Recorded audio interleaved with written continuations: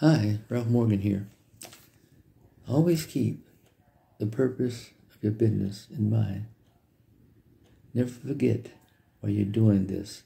Surprisingly, many business owners forget this or never accept it in the first place. My reason is that at the end of the day, you are in business to become financially independent. Now, some will say they are building their business to get rich, and that's fine. For example, one of the highest paid athletes in the world was Floyd Mayweather, a boxer.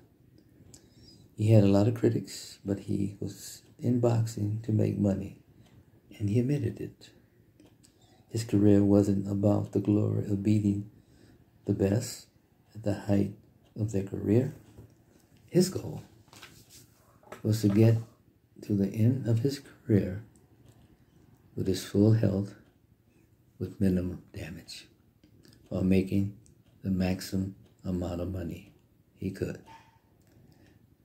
One of his biggest fights was with Manny Pacquiao, and he walked away with $210 million for just 36 minutes of work.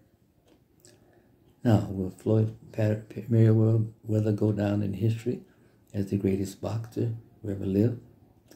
I don't believe so. Will he go down in history as the greatest business strategy strategist of the sport? That I believe. And he said, I'm in the prize fighting business. I fight for the money. He knew the business he was in. There's nothing wrong with getting into business to make money. Never mind money. Never think otherwise. So, do you focus on making money or helping others?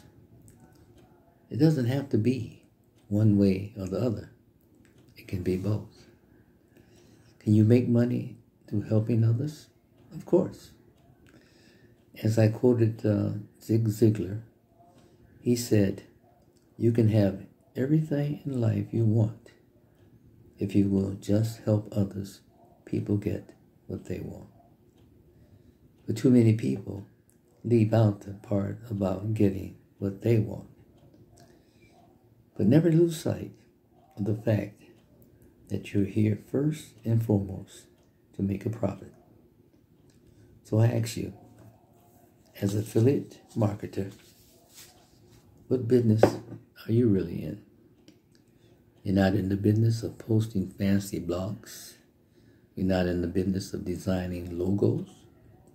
You're not in the business of learning HTML.